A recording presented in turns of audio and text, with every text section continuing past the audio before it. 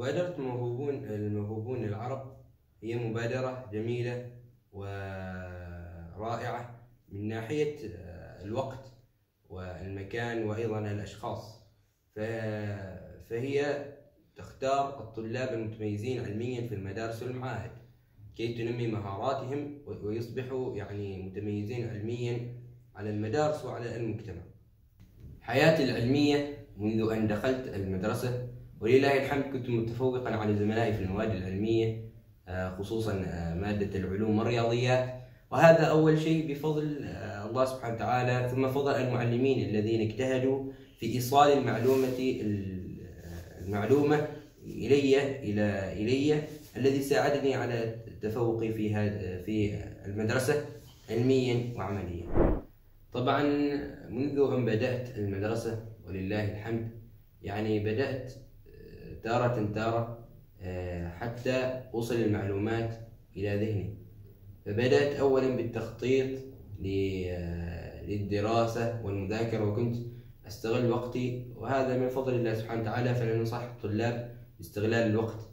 آه ثانيا قمت آه ب يعني المعلمين شد, انتباههم تركيزي آه لهم وحبي للمواد العلمية خاصة الرياضيات. قد كنت متفوقا آه في هذه المادة آه ولله الحمد.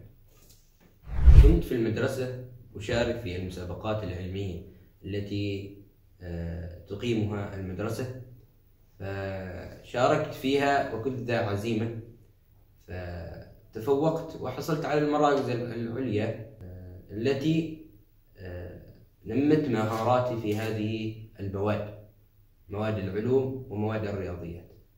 كان أدائي في مقياس مبادرة الموهوبون العرب كان ممتاز ولله ولله الحمد. فتعلمت منه يعني أشياء كثيرة. تعلمت منه القوانين والمسائل الرياضية التي تنمي مهاراتي الذهنية والعقلية. طبعا هذه المبادرة آه هذه المبادرة أثرت في تأثيرا كبيرا فنمت مهاراتي الذهنية والعقلية وعلمتني أخطاء وساعدتني في كثير من الحياة اليومية طبعا كان أساس ترشيحي من دولتي هو التفوق آه والتميز والأداء الممتاز في في مبادرة الموهوبون العرب. أنا حقيقة فخور بهذا الترشيح وأشعر بأني أحمل مسؤولية كاملة تجاه هذا الوطن العزيز. أحقق رؤية الموهوبون العرب بتأهلي وتميزي علميا على الوطن.